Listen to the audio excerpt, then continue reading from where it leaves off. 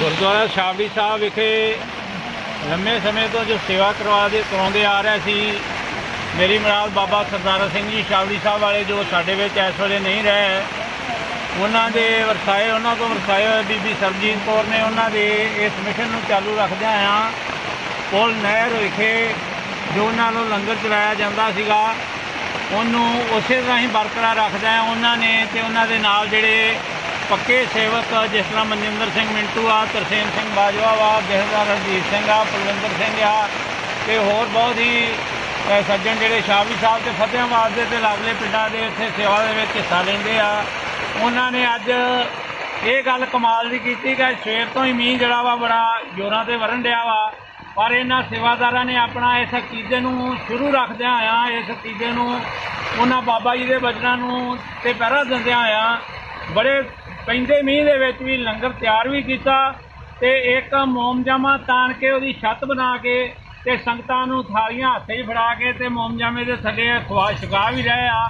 ਮੈਂ ਇੱਥੇ ਆਣ ਕੇ ਹੁਣ ਵੇਖਿਆ ਕਿ ਸਿੰਘ ਜਿਹੜੇ ਆ ਸੇਵਾਦਾਰ ਆ, ਜਿੱਥੇ ਲੰਗਰ ਪਕਾਉਣ ਦੀ ਇਹਨਾਂ ਸੇਵਾ ਬੀਬੀਆਂ ਨੇ ਕੀਤੀ ਤੇ ਇਹਨਾਂ ਸੇਵਾਦਾਰਾਂ ਨੇ ਕੀਤੀ ਆ, ਉੱਥੇ ਜਿਹੜੇ ਸੇਵਕ ਆ, ਜਿਹੜੇ ਸੇਵਾਦਾਰ ਆ, ਇਹ ਲੰਗਰ ਇਸੇ ਤਰ੍ਹਾਂ ਹੀ ਆ ਵਰਤਾ ਤੇ ਛਕਾ ਰਹੇ ਆ। ਜਿਹਦੀ ਤਸਵੀਰ ਹੁਣ ਮੈਂ ਤੁਹਾਨੂੰ ਇਸ ਸਾਰੀ ਜਿਹੜੀ ਆ ਵਿਖਾ ਰਿਹਾ, ਹੁਣ ਅਸੀਂ ਅੱਜ ਦੇ ਇਸ ਮੀਂਹ ਬਾਰੇ ਤੇ ਇੱਥੇ ਕੀ ਲੋੜ ਆ ਇਸ ਲੰਗਰ ਵਾਲੀ ਜਗ੍ਹਾ ਤੇ ਅਸੀਂ ਇਹ ਗੱਲਬਾਤ ਕਰਦੇ ਹਾਂ ਅੱਜ ਮਨਜਿੰਦਰ ਸਿੰਘ ਮਿੰਟੂ ਛਾਵੜੀ ਸਾਹਿਬ ਜੋ ਬਾਬਾ ਜੀ ਦੇ ਨਾਲ ਤੇ ਮਾਤਾ ਜੀ ਦੇ ਨਾਲ ਵੀ ਸੇਵਾ ਦੇ ਵਿੱਚ ਜਿਹੜਾ ਮੋਢੇ ਨਾਲ ਮੋਢਾ ਜੋੜ ਕੇ ਸੇਵਾ ਦੇ ਵਿੱਚ ਹਿੱਸਾ ਲੈਂਦੇ ਆ ਮਨਜਿੰਦਰ ਸਿੰਘ ਮਿੰਟੂ।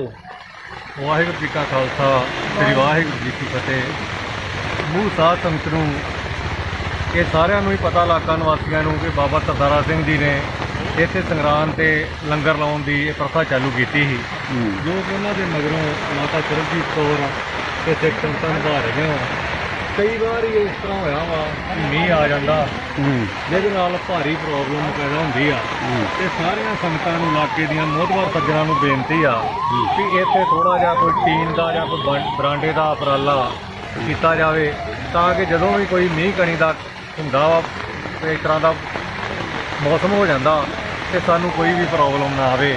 ਵਾਹਿਗੁਰੂ ਜੀ ਕਾ ਖਾਲਸਾ ਇਹ ਇਹ ਮਿੰਟੂ ਜੀ ਜਦੋਂ ਤੁਸੀਂ ਕਿਹਾ ਵੀ ਇੱਥੇ ਕੋਈ ਸ਼ੈੱਡ ਬਣ ਜਾਵੇ ਜਿਹੜਾ ਮੀਂਹ ਕਣੀ ਦੇ ਵਿੱਚ ਪ੍ਰੋਬਲਮ ਨਾ ਹੋਵੇ ਕਦੀ ਤੁਸੀਂ ਇੱਥੇ ਕੋਈ ਸ਼ੈੱਡ ਬਣਾਉਣ ਵਾਸਤੇ ਕੋਈ ਉਪਰਾਲਾ ਕੀਤਾ?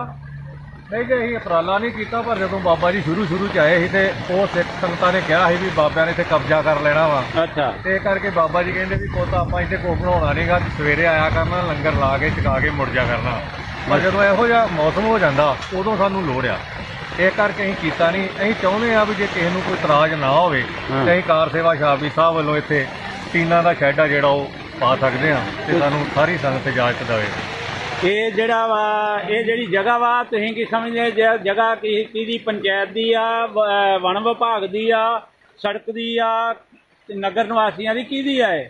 ਇਹ ਸਾਰਿਆਂ ਦੀ ਸਾਂਝੀ ਜੀ ਆ ਜੀ। ਇੱਕ ਬੰਨੇ ਇੱਧਰ ਸਕੂਲ ਵਾਲੇ ਬੰਨੇ ਥੋੜੀ ਜੀ ਪੰਚਾਇਤ ਦੀ ਆ ਫਤਿਹਾਬਾਦ ਦੀ ਅੱਛਾ। ਵਿੱਚੋਂ ਇਹਦੇ ਪਹਿਲਾਂ ਪੱਕੀ ਸੜਕ ਵੀ ਲੰਘਦੀ ਹੁੰਦੀ ਸੀ। ਅੱਛਾ। ਤੇ ਇਹ ਉਹ ਸੜਕ ਵਾਲਿਆਂ ਦੀ ਵੀ ਹੋ ਗਈ ਤੇ ਇੱਥੇ ਨਾਲ ਹੀ ਆਪਣਾ ਵਣ ਵਿਭਾਗ ਵਾਲਿਆਂ ਦੀ ਵੀ ਆ। ਇਹਨਾਂ ਦੀ ਇਹ ਰਲਵੀਂ ਜੀ ਜਗ੍ਹਾ ਵਾ। ਇਹ ਇਹਦੇ ਮਤਲਬ ਜਿਆਦੇ ਵਾਰਸ ਆ। ਹਾਂਜੀ ਜ਼ਿਆਦਾ ਜਦੇ ਜਿਆਦੇ ਵਾਰਸ ਹੋਣ ਤੇ ਤੁਹਾਨੂੰ ਇੱਥੇ ਜਿਹੜਾ ਵਾ ਇਹ ਪਾਉਣਾ ਛੱਡ ਜਿਹੜਾ ਪਾਉਣਾ ਕੋ ਖਿਆਈ ਦਿੰਦਾ ਵਾ ਮਤਲਬ ਇਹਦੇ ਵਿੱਚ ਤੁਹਾਨੂੰ ਮੁਸ਼ਕਲ ਆ ਰਹੀ ਆ ਕੋਈ? ਨਹੀਂ ਸਾਨੂੰ ਮੁਸ਼ਕਲ ਤੇ ਕੋਈ ਨਹੀਂ ਜੀ ਪਰ ਅਸੀਂ ਨਹੀਂ ਚਾਹੁੰਦੇ ਵੀ ਵਿਵਾਦ ਦਾ ਕਾਰਨ ਬਣੀਏ ਕੱਲ ਨੂੰ ਕੋਈ ਸਾਡੇ ਬਾਬਾ ਜੀ ਨੂੰ ਕਵੇ ਕਿ ਤੁਸੀਂ ਉੱਥੇ ਕਬਜ਼ਾ ਕਰਨ ਡਏ ਜੇ। ਅਸੀਂ ਇਹ ਕਰਕੇ ਨਹੀਂ ਪਹੁੰਚਾਉਂਦੇ ਨਹੀਂ ਹੁਣ ਫਿਰ ਤੁਸੀਂ ਕਿਹਦੇ ਨਾਲ ਇਹ ਸੰਪਰਕ ਕਰੋਗੇ? ਜਿਸ ਤਰ੍ਹਾਂ ਅੱਜ ਬਹੁਤ ਮੀਂਹ ਪੈਣ ਡਿਆ ਤੁਹਾਨੂੰ ਮੁਸ਼ਕਲ ਆ ਰਹੀ ਮੈਂ ਵੇਖਣ ਡਿਆ ਵਾਂ। ਤੇ ਕਿਹਦੇ ਨਾਲ ਸੰਪਰਕ ਕਰਨਾ ਜਿਹੜਾ ਵਾ ਲੋੜਦਾ ਵਾ? ਇੱਥੇ ਜੀ ਅੱਜ ਕੁਦਰਤੀ ਵਣ ਵਿਭਾਗ ਦੇ ਕੁਝ ਅਫਸਰ ਵੀ ਆਏ ਸੀ ਜਿਨ੍ਹਾਂ ਨੂੰ ਅਸੀਂ ਗੱਪਾਂ ਛਕਾਇਆ ਹੁਣ ਵੀ ਮੈਂ ਉੱਥੇ ਛਕਾ ਰਿਹਾ ਜਦੋਂ ਤੁਸੀਂ ਆਈ ਜੇ। ਅੱਛਾ। ਤੇ ਉਹ ਤੇ ਸਾਨੂੰ ਕਹਿ ਰਹੇ ਆ ਵੀ ਅਸੀਂ ਤੁਹਾਨੂੰ ਮਨਜ਼ੂਰੀ ਦਵਾ ਦਾਂਗੇ। ਇੱਥੇ ਆਓ। ਹਾਂਜੀ ਉਹ ਇੱਥੇ ਅੰਦਰ ਆ ਤੇ ਉਹਨਾਂ ਦੀ ਵੀਡੀਓ ਬਣਾਈ ਹੈ ਉਹਨਾਂ ਨੂੰ ਸਗੋਂ ਪੈ- ਉਹਨਾਂ ਤੋਂ ਇਹ ਗੱਲ ਦੀ। ਆਹ ਵੇਖ ਲੈਂਦੇ ਜੀ ਚਲੇ ਨਾ ਗਏ ਉਹਨਾਂ ਨੇ ਗੱਪਾਂ ਛਕਾ ਕੇ ਵੇਖੋ ਮੁੰਡੇ ਨੂੰ ਕਹੋ ਕਿਸੇ ਨੂੰ ਪਤਾ ਕਰੇ ਭਲਾ। ਕਿ ਹੈਗੇ ਆ ਤੇ ਆਪਾਂ ਨਾਲ।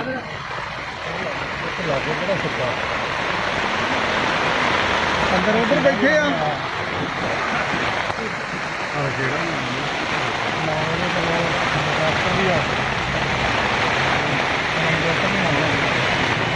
ਜਿਸ ਤਰ੍ਹਾਂ ਹੁਣ ਇਹ ਮਨਜਿੰਦਰ ਸਿੰਘ ਨੇ ਦੱਸਿਆ ਕਿ ਇੱਥੇ ਵਣ ਵਿਭਾਗ ਦੇ ਕੁਝ ਅਫਸਰ ਆਏ ਸੀ, ਜਿਨ੍ਹਾਂ ਨੂੰ ਇੱਥੇ ਲੰਗਰ ਦੇ ਵਿੱਚੋਂ ਗੱਫਾ ਛਕਾ ਕੇ ਤੇ ਨਾਲ ਉਹਨਾਂ ਨੂੰ ਇਹ ਗੱਲ ਦੀ ਆ ਜਿਹੜੀ ਮੁਸ਼ਕਲ ਪੇਸ਼ ਆ ਰਹੀ ਆ, ਤਗੜੇ ਮੀਂਹ ਦੇ ਵਿੱਚ ਉਹਨਾਂ ਨੂੰ ਇਹ ਦੱਸਿਆ ਵੀ ਆ ਜਿਹੜਾ ਸਾਨੂੰ ਬੜਾ ਮੁਸ਼ਕਲ ਆ ਰਿਹਾ, ਜੇ ਕੋਈ ਇਹਦਾ ਹੱਲ ਹੋ ਸਕਦਾ ਤੇ ਕੀਤਾ ਜਾਵੇ। ਉਹਨਾਂ ਨੂੰ ਵਿਸ਼ਵਾਸ ਦਵਾਇਆ ਵੀ ਅਸੀਂ ਕੋਈ ਨਾ ਕੋਈ ਹੱਲ ਇੱਥੇ ਇਹੋ ਜਿਹਾ ਕਰ ਦਿਆਂਗੇ। ਜਿਹਦੇ ਨਾਲ ਕਿਸੇ ਮੀਂਹ ਕਣੀ ਦੇ ਵਿੱਚ ਤੁਹਾਡਾ ਜਿਹੜਾ ਵਾ ਇੱਥੇ ਜਿਹੜਾ ਪ੍ਰਬੰਧ ਕਰਦੇ ਆ, ਤੁਸੀਂ ਲੰਗਰ ਦਾ ਉਹਦੇ ਵਿੱਚ ਵਿਘਨ ਨਾ ਪਵੇ। ਵੇਨੇ ਆ ਜੇ ਉਹ ਲੰਗਰ ਛਕ ਕੇ ਚਲੇ ਗਏ ਹੋਏ ਤੇ ਵੱਖਰੀ ਗੱਲ ਆ। ਜੋ ਇੱਥੇ ਹੋਏ ਤੇ ਅਸੀਂ ਉਹਨਾਂ ਨਾਲ ਵੀ ਕੋਸ਼ਿਸ਼ ਕਰਾਂਗੇ ਗੱਲਬਾਤ ਕਰਨ ਦੀ। ਮਨਜਿੰਦਰ ਸਿੰਘ ਦੱਸਦਾ ਵੀ ਚਲੇ ਗਏ ਆ। ਮੀਂਹ ਇਸ ਵੇਲੇ ਪੂਰੇ ਜ਼ੋਰਾਂ ਤੇ ਆ। ਪਰ ਇਹਨਾਂ ਵੱਲੋਂ ਜਿਹੜਾ ਲੰਗਰ ਦਾ ਪ੍ਰੋਗਰਾਮ ਆ, ਉਹ ਲਗਾਤਾਰ ਇਤਾਂ ਨਿਰੰਤਰ ਜਾਰੀ ਆ। ਮੈਂ ਇਹਨਾਂ ਦੀ ਹਿੰਮਤ ਦੀ ਦਾਤ ਦਿੰਦਾ ਵਾਂ ਜਿਨ੍ਹਾਂ ਨੇ ਬਾਬਾ ਜੀ ਵੱਲੋਂ ਸ਼ੁਰੂ ਕੀਤੇ ਲੰਗਰ ਨੂੰ ਨਿਰੰਤਰ ਚਾਲੂ ਰੱਖਣ ਦੇ ਲਈ ਆ ਮੋਮਜਾਮੇ ਹੇਠ ਇੰਤਜ਼ਾਮ ਕਰਕੇ ਤੇ ਬਾਬਾ ਜੀ ਦਾ ਜਿਹੜਾ ਇਹ ਸੁਪਨਾ ਵਾ ਉਹਨੂੰ ਇਸੇ ਤਰ੍ਹਾਂ ਹੀ ਜਾਰੀ ਰੱਖਿਆ ਵਾ।